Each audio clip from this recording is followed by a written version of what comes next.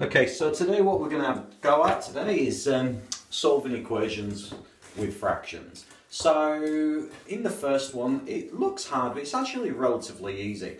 So x plus 2, then divide by 7, and the answer is negative 5. So what we need to do is, first thing we need to do is we need to get rid of this divide by 7. The easiest way we're going to uh, get rid of the divide by 7 is we're going to multiply by 7 on both sides. Okay, by doing this, what we're going to effectively do is we're going to be able to cancel out these two sevens here.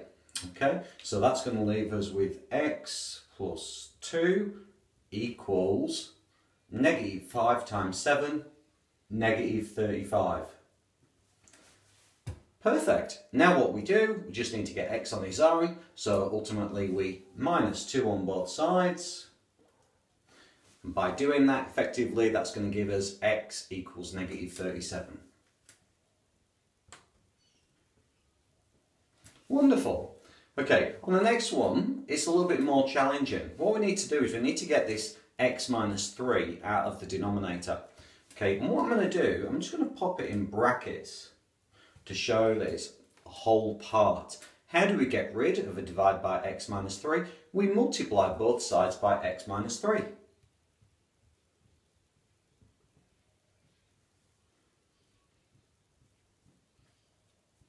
Wonderful. And you can now see these two x minus 3's are going to cancel each other out. So now we're going to be left with 5 equals 10 brackets x minus 3. Now what we're going to do, we're going to expand the bracket. So 5 equals 10x minus 30.